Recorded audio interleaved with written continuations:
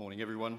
Uh, lovely to have an opportunity to talk to you. I considered, uh, what am I going to pitch here? I haven't got anything to sell, so uh, I'm going to give you some advice uh, instead.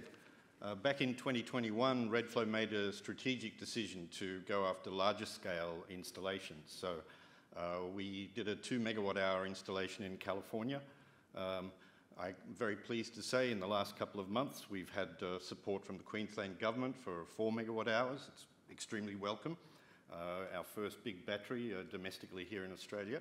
Um, uh, about the same time, we were granted a 20 megawatt hour in California again, and only in, and then another four megawatt hours, no, two megawatt hours on the east coast of the US, and then only in the last couple of days, 35 megawatt hours in the US. So we've maxed out our, our factory uh, in Thailand uh, with that now, and we really seriously have to consider where we're going to put the next one.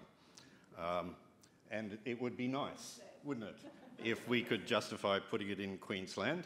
Um, we've heard about the IRA. Uh, we're under a lot of pressure to uh, succumb to that. Uh, obviously, a lot of our market is in the USA. Um, as I said, our factory's in Thailand at the moment, so uh, we always struggle with the cost of labour. And I think uh, the last speaker talked about um, uh, the market.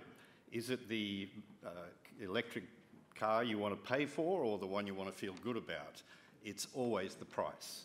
Uh, so if uh, we made our batteries here in Queensland, I don't think the Queensland government would want to buy them because they'd be too expensive. That's a, a difficult equation for us to, to navigate, of course.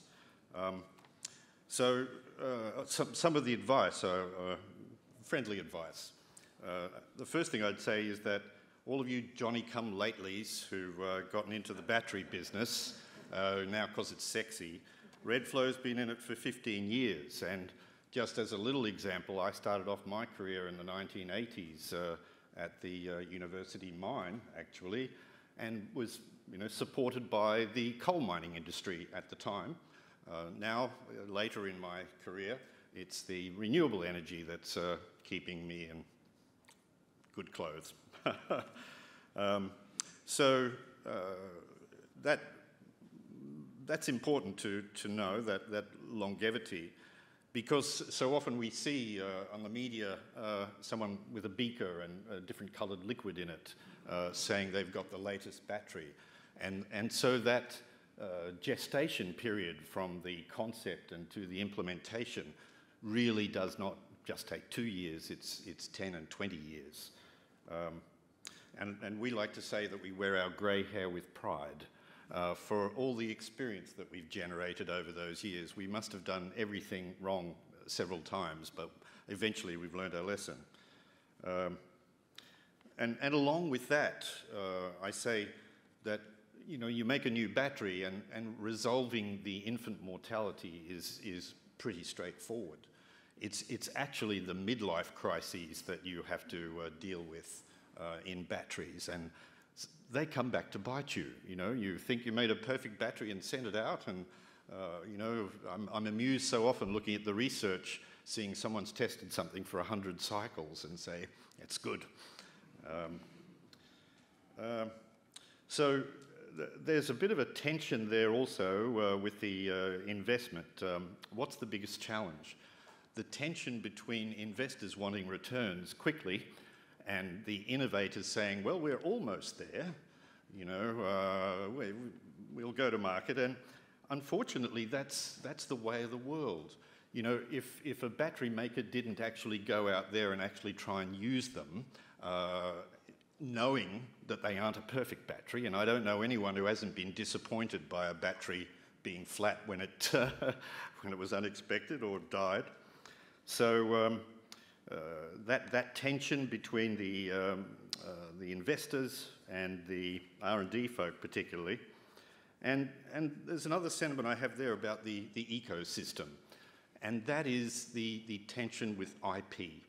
You know, uh, I was visiting uh, GMG the other day, uh, hoping to gain some of their wonderful um, uh, graphene, which I'm sure would be very good for our battery.